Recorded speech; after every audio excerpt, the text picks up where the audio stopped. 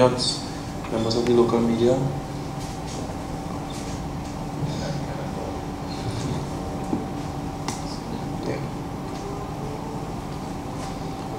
Um, I'd just like to say, um, I know going into this tournament, the country is actually looking forward to us to have a, another good showing coming off of the successful tournament we had in the Gold Cup.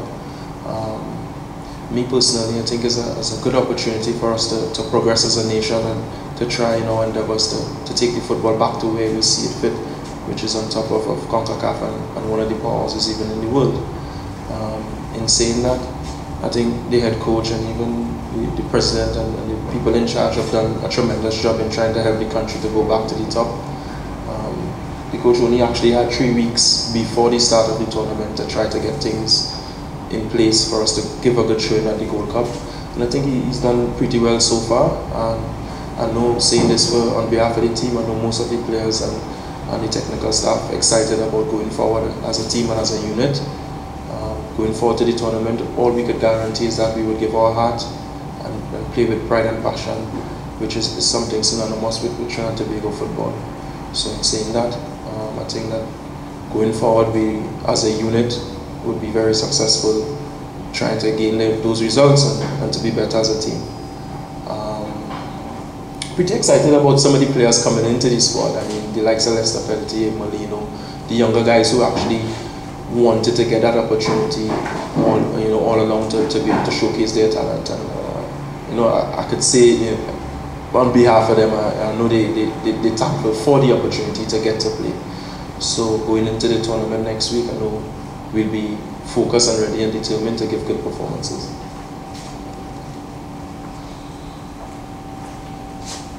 Thanks a lot Jan, well said so in saying that, I think um, we could also look at the fact that uh, all four teams in the tournament are of, of a decent nature.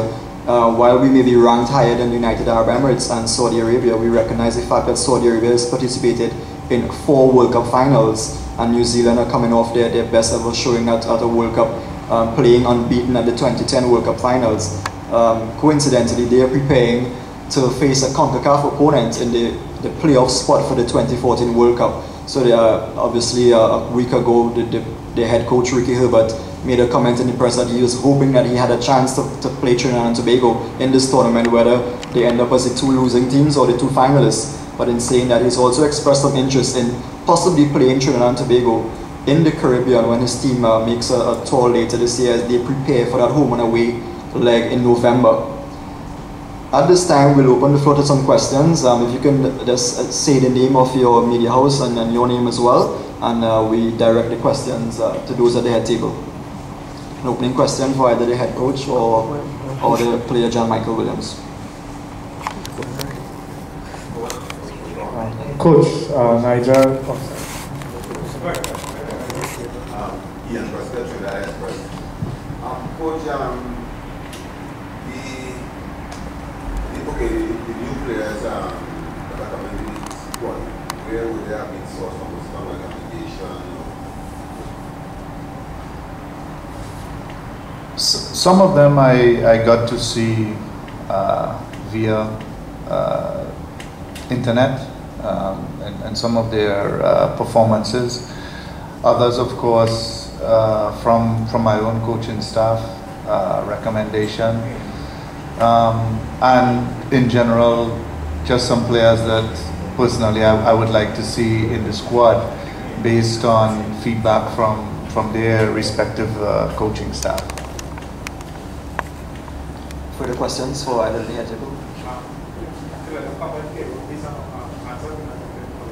Is it the microphone? Okay. Any further questions? Ediano, no questions yeah, this, this, this is the 14 tournament.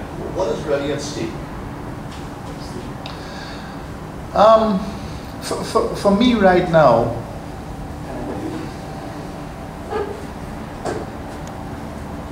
so therefore we direct all questions to head coach Stephen Hart during this period. For, for me right now, I, I, think we have to be realistic. Right? We've finished the, the Gold Cup tournament. We, we have an idea of, of some sort of nucleus, but we have to build for the future. Okay, so it's it's really a time for experimentation, right? We we have to we have to start. Uh, uh, experimenting with players, with systems, how, how exactly are we going to, to, to play games according to the environment we're in, etc., etc. So, in, in that respect, um, of course, you, you, you're going to, to, to play your best and, and to get something out of the tournament, but I have to look realistically at, at, at building a squad for, for the future. Coach, in, in terms of your, your scouting, um, I guess, program moving forward, what, what we saw uh, just a short while ago was a, a combine being held in the US a lot of our um, younger players uh, go off to school, but some of them some of them end up being lost. You know, they've represented us at youth, at youth level whatsoever and then uh, lost to the college system in the States.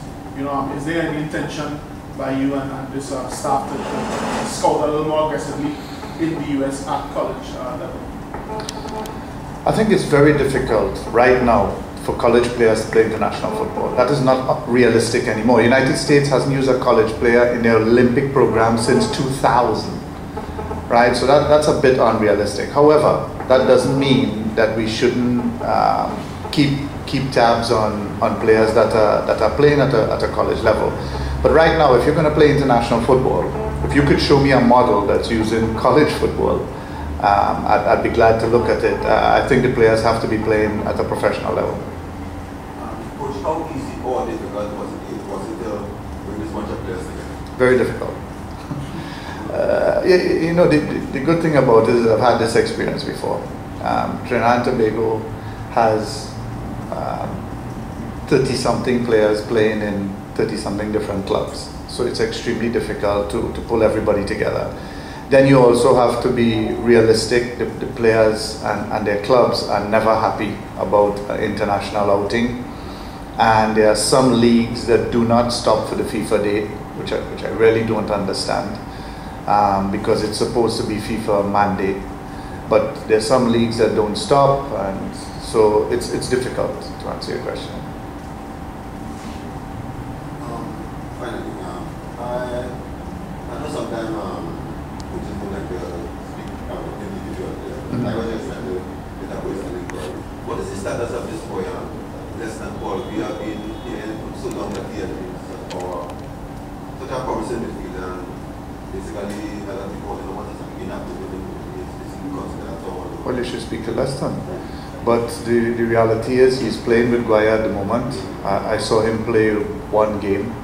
Um, and, and in the in our midfield uh, where he's playing, it's extremely competitive at the moment. But I'll, I'll keep tabs on him because he, he's definitely a player that I, I like. I like some of the things that, that he does.